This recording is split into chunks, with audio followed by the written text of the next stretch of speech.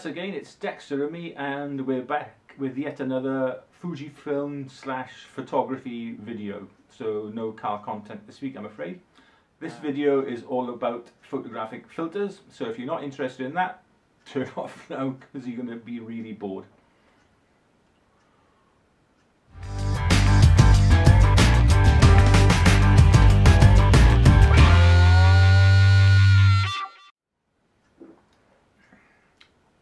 For a while I didn't think I was going to get this video made this week. I've had um, a number of hospital appointments and the week after next I've got a major checkup uh, in my local hospital so fingers crossed for that, that everything goes okay. Uh, so this week I've been running around having uh, blood tests and things like that in readiness for that and uh, I seen um, a doctor from the chronic pain team which should help you with some of the back pain I've been suffering. Um, anyway, enough of that, that's boring um, filters and the filters that I use with my camera system. Um, well, brief history first. When I started off uh, taking landscape photographs many years ago, um, I invested in uh, some screw-in filters that you just well, screw in to the front of your lens. Um, now I only had one lens when I started off, so that wasn't really a problem. So I had four or five uh, different grades of filters that just screwed into that lens. I was having problems with vignetting sometimes, uh, especially when you, I was stacking filters to get uh, different effects. So I thought I'd move on to a slot-in system and I invested uh, a very small sum of money um, in a Cokin or Cocan or whatever, it's a French company so it's probably got some sort of exotic pronunciation uh, Cokin uh, filter system. Um, and that consisted of a ring that screws into the front of your lens and you get all different sizes of those. And then a holder that slots onto that ring. And then the filters in turn slot into the filter holder. Um, and I was getting great results with those. Um, but uh, one problem with them was their construction. They were made of um, resin uh, or plastic and the filter holder itself was quite flimsy. Um, so I thought I'd invest in something a little bit more upmarket. Um, I looked at systems from Formatt Hitech and from uh, NiSi or NiSi or whatever they're called, and Lee. And I went for the Lee ones. Um, purely really on recommendation from other people. So I invested in a wide angle adapter ring for my for my wide angle lens uh, to help stop with any sort of vignetting. Uh, and the Lee Foundation Kit, which is a 100 millimeter um, filter holder, uh, where the lenses, the lenses, where the filters slot into the front of that holder, and you can stack up to uh, three filters uh, or four if you've got a polarizing ring on. Um, I just tend to use mine with uh, two filter slots and a polarizer ring. So that gives me um, like three filters stacked really, uh, which is more than enough. Um, do you need filters at all? Well, no, not really. I mean, um, uh, some of the effects that filters give you, you can replicate in Lightroom or Photoshop or whatever um, photo editing program you, you're using, I would imagine. Um, but there are some effects that you can't.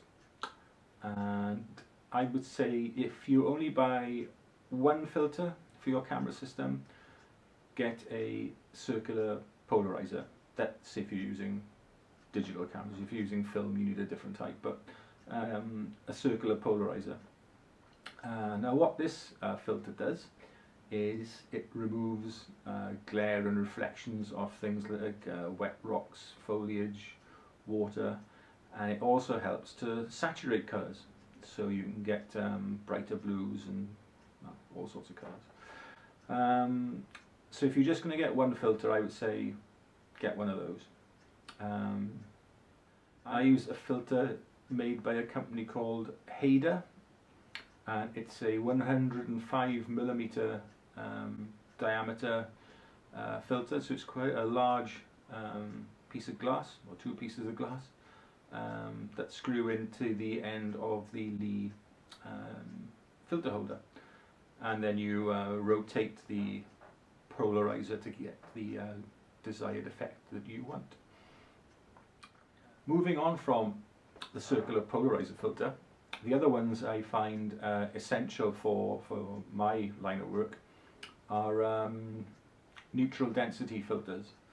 Um, now what these do is stop the amount of light coming into your lens and hitting the sensor or the film, um, enabling you to slow down your exposure times and get nice creamy uh, watery effects if you like that sort of thing.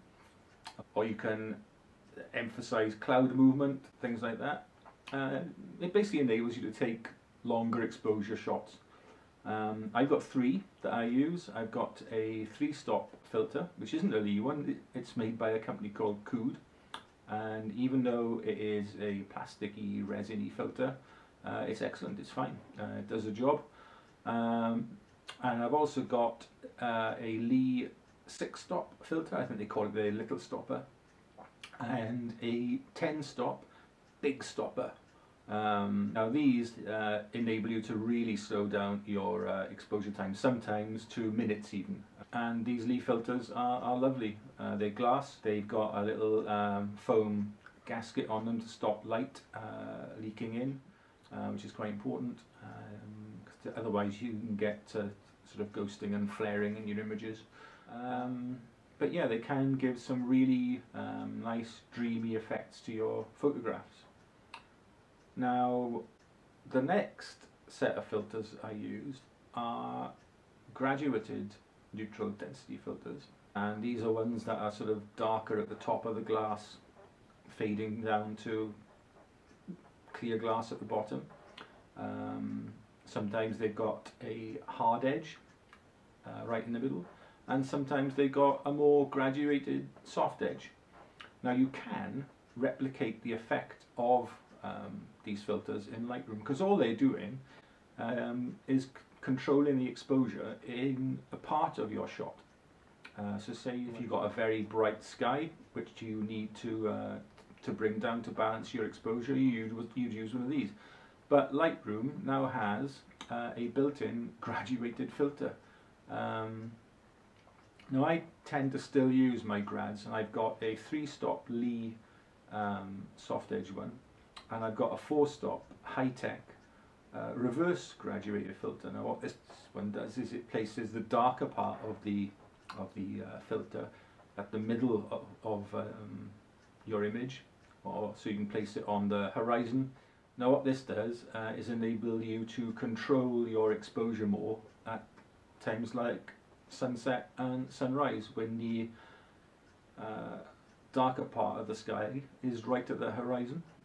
Um, but again, you can replicate this in, in Lightroom. Uh, so you don't really need um, graduated filters. But I like to get things right in camera, leading to uh, less time sat at the computer really, um, fiddling about with your images. And I find it, especially being a bit of an old school photographer, um, a lot more satisfying doing it that way than relying on software. The next couple of filters I've got, I've hardly used. Um, in fact, one of them I've never used. I haven't used it at all yet, and that is a infrared filter. Uh, I saw a few um, infrared images uh, a few years ago when I was in hospital actually, and I thought I'd like to have a go at that. Um, so I bought myself a Hoya uh, screw-in uh, infrared filter.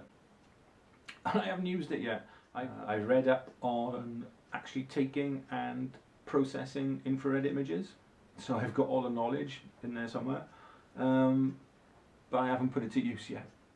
I'm hoping to do a bit of this in the summer, because you can get out and about when the sun is really bright and not necessarily the best time for landscape photography in general. Uh, the other filters I've got are star filters. Now what these do is if you're taking pictures of a light source, um, or a star. um, they produce little sort of extended bits um, on that star, so it looks like a more pointed star. or source of light. Um, and they're quite nice actually, the, uh, the effects you can get with those. Um, but I haven't used them an awful lot, I've only just got them, um, haven't used them much uh, to date. Now a lot of people have asked me before, do I need a clear filter on the end of my lens? And my answer is always no, uh, you don't need one uh, if you look after your stuff. Um, if you don't look after your stuff and you're a bit ham-fisted and clumsy, then yeah, by all means, um, get a uh, a clear or skylight, I think they're called, or UV filter, which you can stick on the end of your lens to protect its front element. But what I always suggest is if you are going to use one of those, before you take a picture, take it off. Um, uh, lens manufacturers spend millions on research and development and manufacturing their glass. So why would you want to stick a 20 pound piece of um, glass in front of that again? uh, other than to protect your lens. But I tend to rely on um, always putting the lens cap on the lens, uh, carrying my camera around uh, on a strap, uh, leaving the lens hood on, uh, and that, that's enough to protect it really. So you don't need um, a UV filter. They are quite cool though, because they make the front element of your lens look absolutely huge. Um, but uh, I don't bother with them personally, and I don't think you really need them. Uh, so there we are. Those are the filters I use with my X-mount lenses. Uh, anyway, as usual, I hope you found this in some way helpful. And we'll see you again very soon. Bye for now.